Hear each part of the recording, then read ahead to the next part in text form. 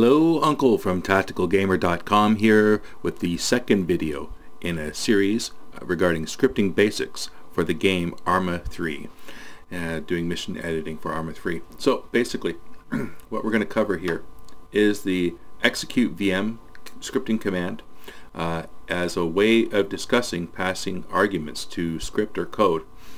Uh, and then we're going to talk a little bit about the format scripting command as well because we're going to be using that to sort of debug and provide feedback and examples uh, through our hints and side messages and side chat messages and stuff. So let's jump into this a bit. Um, execute VM. First best place to start. Head on over to the uh, scripting command um, reference from Bohemia. Yep, there is that many. So there we go scripting commands for ARMA 3.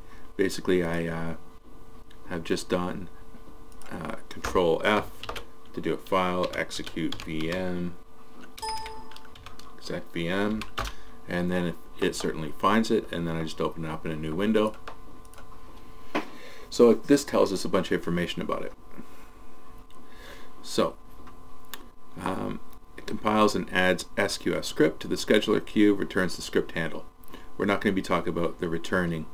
Okay, we're just basically using it to run a script. Um, basically, we are first going to be using the this syntax, or even just this syntax. Um, arguments uh, can be anything. Um,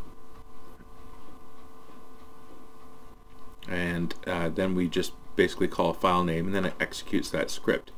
That's all there is really to it. Um, let's get into that. So let's say we had in our mission already, we had, let's bring that up. I'm, going back and referencing and starting from the uh, add action mission. So we've got a script here called skull action. Um, I think it's already open. There it is. For the competitor, which was an object in the game, did a side chat message, hey, talk to me, not my skull, buddy. Um, we could create a new script here called my script, which might be a good thing to do.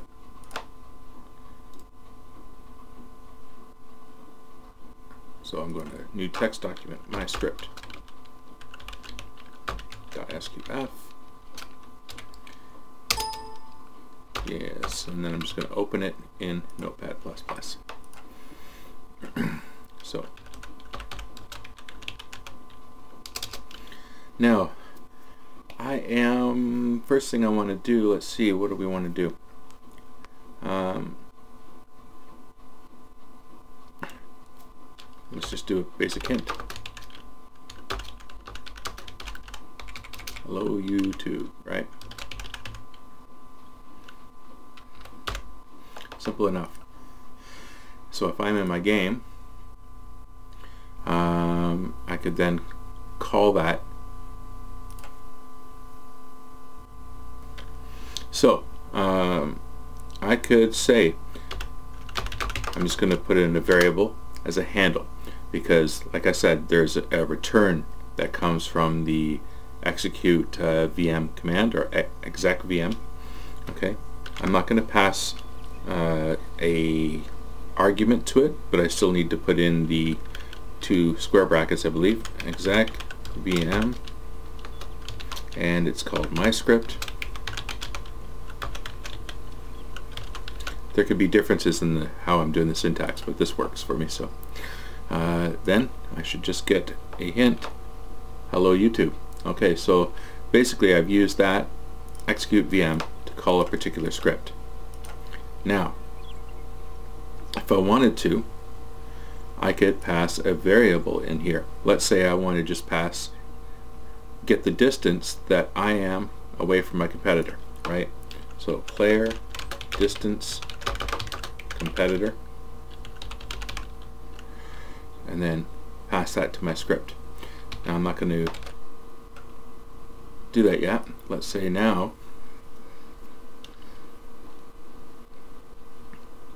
I'm going to go straight into actually the format command here as well.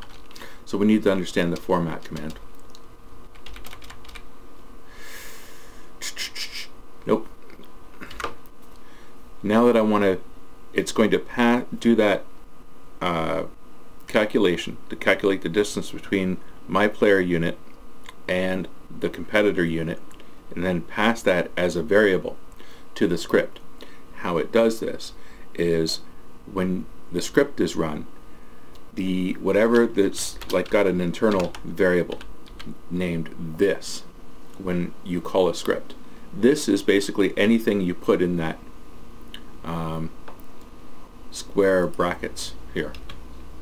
So I could put in an array and add more past different things. Um, whatever I wanted, numbers, right, strings, boolean values, it really doesn't matter. So this is just an array of different things. I only have one element in this array and it is going to be a number because distance re returns a number. So the distance between these two objects will be a number. So how this works, make more sense, is let's say I, I'm going to this select 0, which is the first element in that array, is going to return then whatever I passed. Okay, so I want to store it in a in a variable that I'm going to be able to use.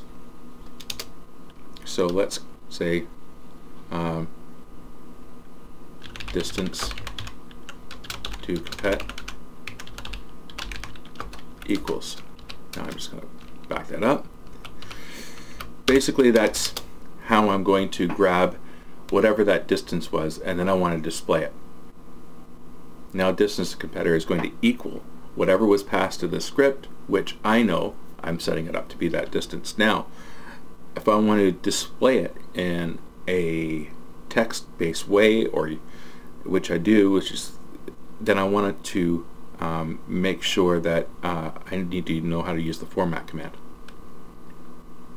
Format command basically works okay and I can have an array of strings that I can just basically put together. If I was to go hello and a space and then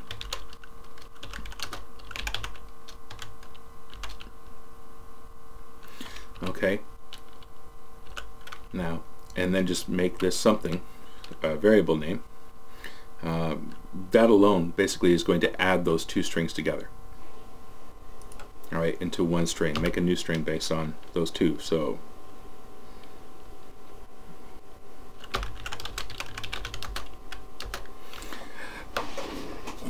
There's another function that this will do as well. Okay? I can there in the format command there is already internal variable types uh, sort of a syntax setup let's say.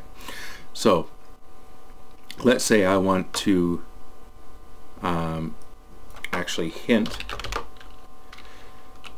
uh, some formatted a formatted string and I wanted it to say you are let's say X meters away from the competitor. So what I want to do is instead of using uh, X as my variable, right, what we're going to do is use percent %1. That's the variable that's already set up to work with the format command. Now second element in my array for my format is basically what value I want to be in place of this. So in this case I want distance to competitor so the script grabbed whatever that distance was from the this select 0 from the exec VM command stored it in this variable now I'm going to hint format and do this. I could type in here this select 0.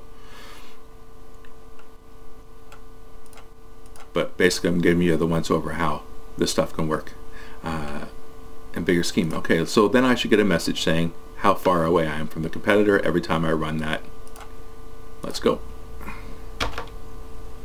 So it's going to pass it. I am 9.63 meters away from the competitor. If I move further away, execute it again, I am 14. Right.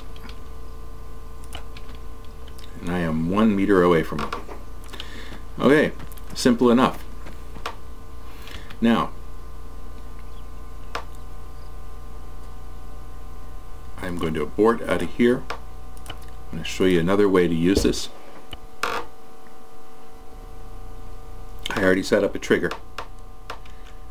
Okay, my trigger is basically just detecting a 5 meter uh, circle if BLUFOR is present and it will repeat and every time it repeats it's going to call my script but it's going to pass this list select 0.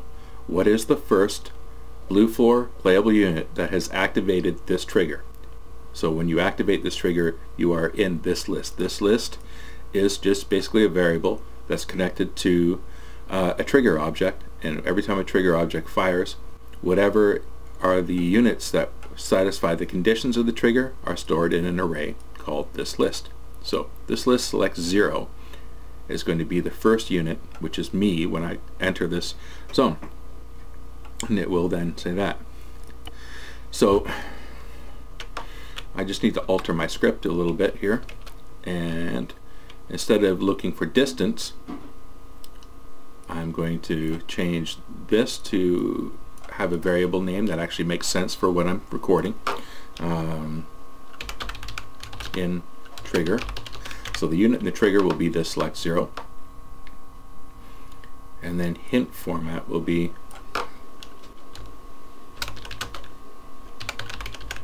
trigger has been activated by percent one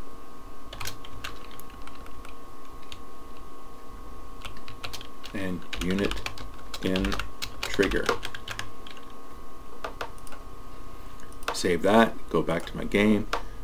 Yes, it takes a while to run this mission. I'm not sure why. Okay, so that trigger zone started in between the barrel and the basket. So when I get in there, the trigger's been activated by Good Guy's uncle. Cool. I don't know if I put a game. I didn't put uh, another game master in here. But if I had was able to get the competitor to move in there, which I should be able to, I should be able to make him join my group. So cursor target, or I could just say competitor. Competitor join, and then group player. So that should make him join my group. Two, join group. Ready. And then I could tell him to go there. Um, Two, move up. On the way. Standing by. There we go. Trigger has been activated by competitor. So, we have discussed now, uh, getting back to our plan, how to use the execute VM command, uh, how to pass arguments to it, um, and I should cover again a little more if I had uh, more than one argument okay and I'll put this in as if it were a comment okay if I had param 1 and another param parameter I'm just making this up. And so param 3 right? It's an array. And then uh, had vm my script. Dot .sqf. I am flailing on the keyboard. Okay, then I could get those by obviously going var something equals this select one, right? And I'd be select this select one would be the second parameter and so forth. Okay? Um, so you could then use all sorts of different things, and we'll get into that in the add action. Right, that's Unkl from TacticalGamer.com. All right, catch you on the next one.